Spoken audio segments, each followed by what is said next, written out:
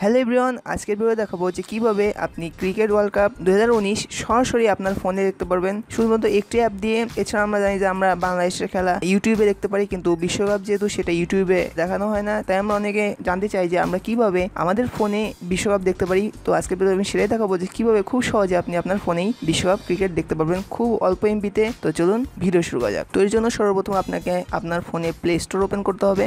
তারপরে এখানে সার্চ করতে হবে র্যাবিট হোল রেখে আর A double B I T H O L E rabbit hole লেখার সাথে সাথে এখানে দেখতে পাবেন যে র্যাবিট হোলের অ্যাপটা চলে এসেছে, আমরা সেটা ওপেন করব। ওপেন করার পরে অ্যাপটি আপনার ফোনে ইনস্টল করে নেবেন, বেশি সাইজ না এটা মাত্র তেরো এমবি সাইজ আপনি অ্যাপটা ইনস্টল করে ফেলবেন আপনার ফোনে এখানে যেহেতু আমার অ্যাপ ইনস্টল করা হচ্ছে আমি সেহেতু সরাসরি এটা ওপেন করছি।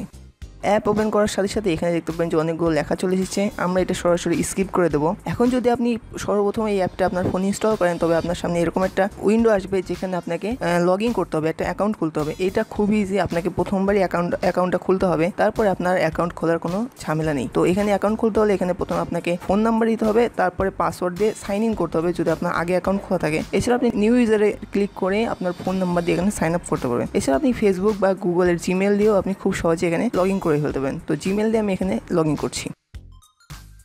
তো দেখলেন আমরা খুব সহজে এখানে সাইন আপ করে ফেললাম। এখন যেহেতু আমরা ক্রিকেট বিশ্বকাপ দেখব, তো সেটার জন্য এখানে অ্যাপের আপনার এখানে দেখতে পাবো যে লাইভ টিভি নামে একটা অপশন আছে, এটাতে আমরা ক্লিক করব। এটাতে ক্লিক করলে আমরা এখানে দুইটা চ্যানেল দেখতে পাচ্ছি, একটা হলো জি টিভি একটা হলো র্যাবিট হোলের স্পোর্টস অ্যাপ এখন এই দুইটা চ্যানেলের মধ্যে প্রথমটা যে জি টিভি আছে, এটা জি টিভি মেন চ্যানেল এবং দেখা যায় অনেক সময় একই সময় দুই দুইটা ম্যাচ প্লে হয়। তো সেক্ষেত্রে প্রথম ম্যাচটা জি টিভিতে দেখাবে এবং দ্বিতীয় ম্যাচটা নিচের র্যাবিট হলে সেটা দিলে আপনি দেখতে পাবেন। তো এখন আমরা দেখব যে কীভাবে টিভিটা প্লে করবেন। তো এর জন্য প্রথমে আমরা জি টিভিতে ক্লিক করলাম। এখন আপনাকে কিছুই করতে হবে না জাস্ট এখানে প্লে অপশনটাতে ক্লিক করে দিতে হবে।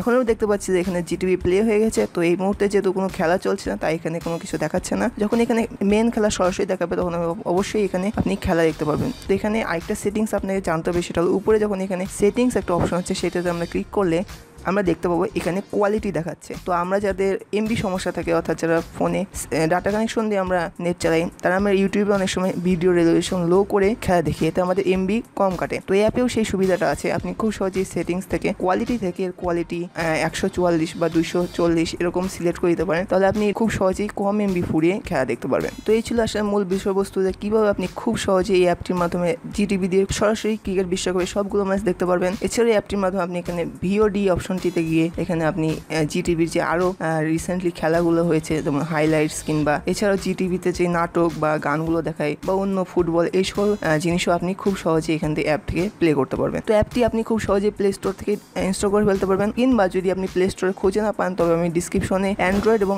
আইওএস দুইটারই লিঙ্ক দিয়ে দেবো। আপনি সেখানে ক্লিক করার সাথে সাথে প্লে স্টোরে সেটা ওপেন হয়ে যাবে, সেখান থেকে আপনি ইনস্টল করে ফেলতে পারবেন। এছাড়াও র্যাপিড হল এখানে জানিয়েছে যে এই অ্যাপটি শুধুমাত্র বাংলাদেশি ইউজার জন্য। আপনি যদি বাংলাদেশ থেকে ইউজ করেন, তবেই অ্যাপটি দিয়ে আপনি টিভি দেখতে পারবেন। যদি অন্য দেশ থেকে আপনি ইউজ করেন, তাহলে কিন্তু এই অ্যাপটির মাধ্যমে আপনি টিভি দেখতে পারবেন না। তো এই ছিল আসলে মূল বিষয়বস্তু যে কীভাবে আপনি খুব সহজেই ক্রিকেট বিশ্বকাপের সবগুলো ম্যাচ আপনার ফোনে দেখতে পারবেন। তো আসলে ভিডিওটি আপনার ভালো লেগেছে। ভিডিওটি ভালো লাগলে অবশ্যই লাইক দেবেন। আর ভিডিও সম্পর্কে কোনো প্রশ্ন থাকলে অবশ্যই নিচে কমেন্ট বক্সে জানাবেন। এবং আমার ভিডিওগুলো ভালো লাগলে আমার চ্যানেল অন্য ভিডিওগুলো দেখবেন এবং সাবস্ক্রাইব করবেন। এবং ভিডিওটি ভালো লাগলে আপনার বন্ধুদের মাঝে ফেসবুক টুইটার যেখানে যেখানে আপনার ইচ্ছা, সব জায়গাতে শেয়ার করবেন। খুব শীঘ্র দেখা হচ্ছে অন্য কোনো ভিডিওতে, অন্য কোনো টপিকে ততদিন ভালো থাকবেন। টাটা।